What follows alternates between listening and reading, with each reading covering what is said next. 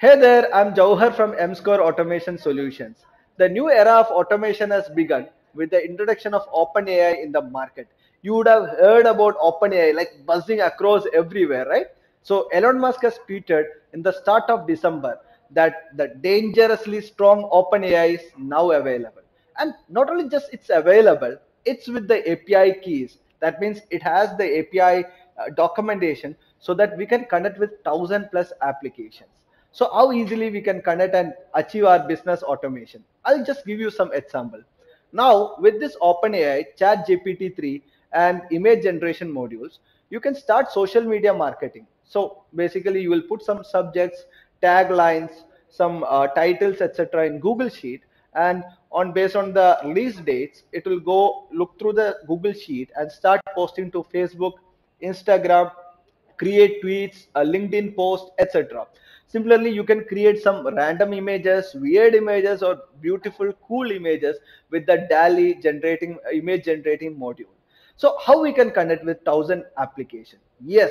So Make has provided a very good platform so that now we can easily do lot of our business processes with OpenAI. Imagine you have a lot of Google reviews coming and you want to analyze whether it's positive or negative right? So you can analyze this based on its sentiment and reply to your customer in a positive note. Similarly you want to create some images like bird sitting on the dragon and post your linkedin or a man flying in air. Kind of some funny stuff right? Cool stuff or memes trolls everything can be done. So i have come with a simple demonstration a scenario which i developed in make in 15 20 minutes where you tell to your telegram bot hey i just want a pun uh, based on some test like elephant in space. So what will happen? It will create an image like an elephant in space and a pun will be explained and it will be posted to our channels groups or even as a reply to the bot it will it will come as a reply to the bot. So lot of things can be done and i hope you are excited to see this automation this is a typical example where Telegram bot is integrated with OpenAI module to create a pun and its associated image. Once it is created, we can post to our required channels, groups, or even as a reply to the bot. I'll just demonstrate it. So I created, I've created a tele, uh, Telegram bot in my Telegram using the instructions given by uh, Make, and you can find the instructions in their online help. So once uh, it is created, I've used the Telegram bot module watch updates. Uh, you can see the module here so watch updates. So this triggers when there is a new update from uh, our telegram channel groups or from the created board. So it will watch for that and i just i'll just give some instruction something like man in air or something like man reading a book right? Once the instruction is given it is passed to the openai module. So uh, there are typically four openai modules. We are using create a completion module so it creates a completion for the provided prompt and parameter. So here you can see I have given a prompt, create a pun on the message, right? The message is a variable, message test is a variable coming from Telegram.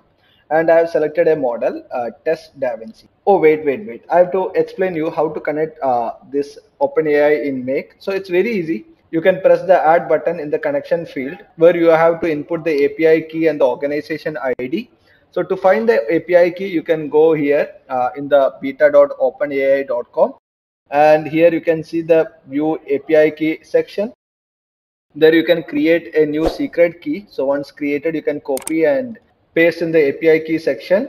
To get the organization ID, uh, there is an instruction given. Uh, it is asking to navigate to a website URL. So I'm just navigating. So here you can see the organization ID. Just copy this and input here and press save. So the connection is established and you can select different models. I'm following text-davinci 002 model. And then I've given the prompt as explained and token, uh, we can give the tokens as per our requirement and temperature you can provide.